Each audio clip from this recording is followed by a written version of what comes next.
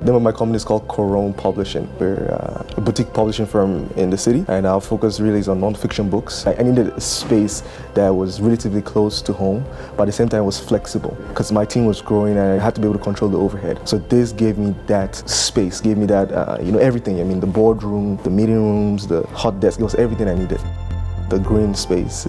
It uh, gives you this feeling of you're outside. And I'm the kind of person I love big windows. I love the light. You know, it gives you that space that, you know, like it's like a space where I could dream. I love to dream. I think the biggest key for me is synergy, the ability of everyone to be able to come together and uh, leverage off of each person's strength. We're working together on a project. We're trying to brainstorm and everyone is maybe someone's feeling off. We can say, hey, you know what? Let's take 10 minutes, walk around, sit. You know, just change positions. It's as open as your mind can be. You know what I mean? So for me, it's I think it's fantastic. I, I love it. It's a community of like-minded people who have a common vision, right? So it's like, wouldn't you like to be a part of that?